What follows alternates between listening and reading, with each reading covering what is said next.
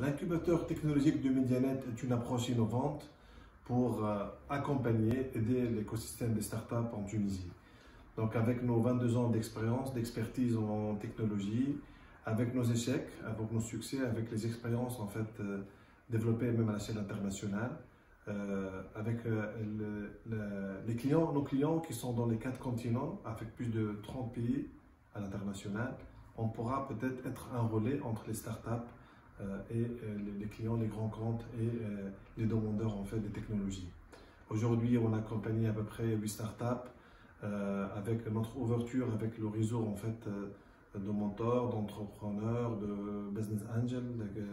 des, accélérateurs en Tunisie. On peut peut-être essayer de détecter des idées à l'échelle au début, en fait, en étape d'amorçage, pour accompagner, coacher euh, pour qu'on puisse accélérer par la suite.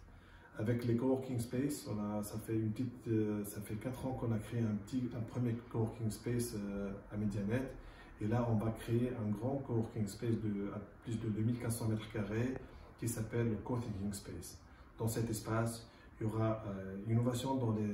dans la salle polyvalente et dans le networking, échange avec des partenaires en fait de l'écosystème média et et d'autres à l'international en Tunisie,